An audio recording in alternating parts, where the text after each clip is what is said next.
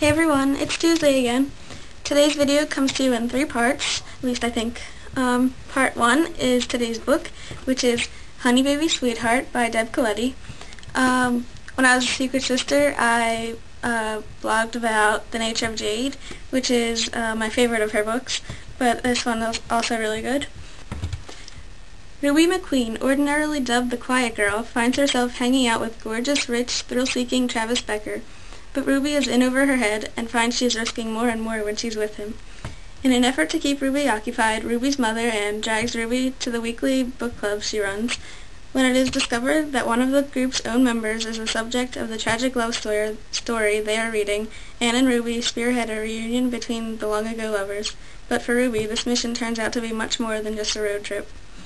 Yeah, that pretty much sums it up.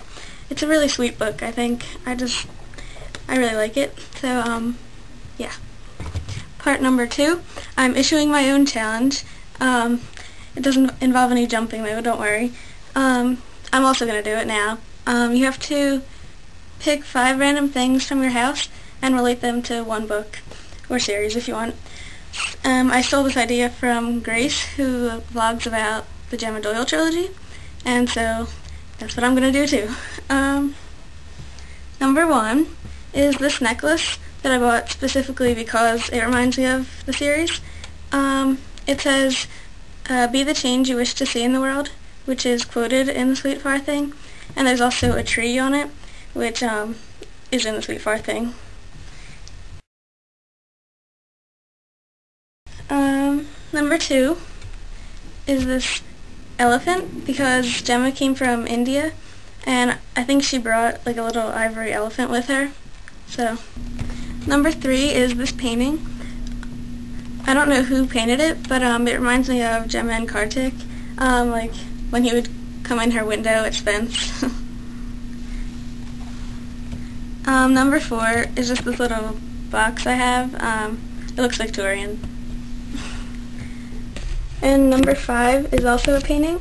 This is The Lady of Shalott, and in A Great and Terrible Beauty, um, they talk about her uh, with Miss Moore.